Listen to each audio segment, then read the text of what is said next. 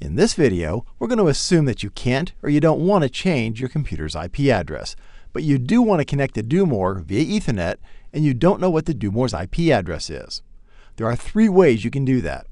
First, you can connect via USB, then use that to configure the Ethernet port so it's compatible with your PC's Ethernet port or network. Second, you can use a utility called NetEdit to configure the Do-more's Ethernet port directly using only an Ethernet cord. That utility doesn't need to know the Do-more's IP address to work. And third, you can use a USB cord to put a program in the Do-more PLC that auto-configures the Ethernet port for you using the setup IP instruction. Now, most of the time, you'll want to do all of your work via USB. It's the quickest, easiest way to connect. It keeps the Ethernet port available for your system's Ethernet devices, and you don't have to monkey with the Ethernet settings on your PC or network. But if you happen to find yourself in a situation where you need to connect your computer to the Do-more via Ethernet, you might find some of these handy. Here we go. Method 1, that's connect via USB, use that to configure the Ethernet port, and then reconnect via Ethernet. To connect via USB, just bring up the software. I'm using version 1.43 here, and click on New. We're using a standard Do-more CPU and an Ethernet version. We need to connect our PC to the Do-more using a USB cable and make sure the Do-more is powered up. We want to connect to the Do-more, and we want to add a new connection. We want to initially connect via USB, and I only have one Do-more connected right now, which is this one right here. If you have multiple Do-mores connected via USB, you would see a list here, so make sure you select the right one. We'll give the link a new name, a description, and hit Finish. Well, now that we have this new link, we just highlight that and press Select. We get the usual dialog asking if we want to use the current project on the PC, the project that's in the PLC, or none of the above. We want to use our new project. Great. We're connected to the Do-more, but via USB.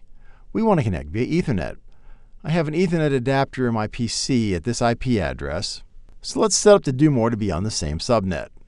Well, just like we always do, we start with the system configuration. And the only thing we need to mess with here is the CPU configuration, where we see the Ethernet port is right here. Let's set that up with the IP address that we need to use. We use this mask, and we don't have a gateway since we're connected directly to the Do-more. Well, that's it. The Do-more Ethernet port is now configured at that IP address. You don't even have to write the project to the Do-more.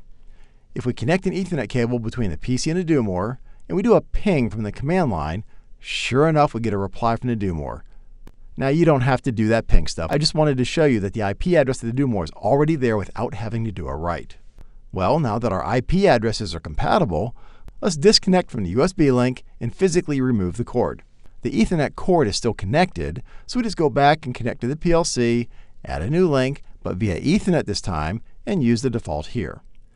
Since I have multiple Ethernet adapters in this PC, I need to select the one we're using. The Do-more automatically scans the network and finds our Do-more, so we select it and hit Next. Let's give it a name and a description. Notice the format here. It's the name and description we just typed in, isn't it? Well, great. Highlight that one and hit Select. And we are now connected to the PLC via Ethernet and can do all the things we would normally do via USB. In this method, assume we don't have a USB cable handy and we want to connect to the Do-more with an unknown IP address. How do you do that? Well, go to the Launchpad and start up this Network Edit utility.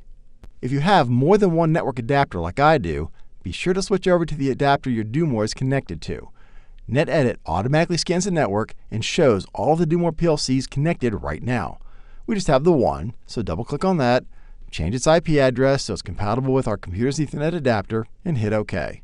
The Do-more's IP address is now changed. Again, we can see we get replies from the Do-more via the ping command. Close that out and go connect to the Do-more like we always do. Now we could create a new link here, but since we use the same IP address as we used in the previous example, we'll just use that link. And now we're connected via Ethernet. And we did it without using a USB cable. The last way is to connect via USB. I'll just use that USB link we set up earlier. And then we use the setup IP instruction to set the IP address. This does the exact same thing as the other methods, but you have to write the program to the Do-more and run the program for it to take effect. You now have three ways to connect to the Do-more via Ethernet when you don't know the Do-more's IP address. If you have any questions, please contact Automation Direct's free award winning tech support during regular business hours. They'll be happy to help. And don't forget the forums. There are lots of folks there that love to share their years of experience. Just don't post any questions directed at Automation Direct support staff there. They don't monitor the forums on a regular basis.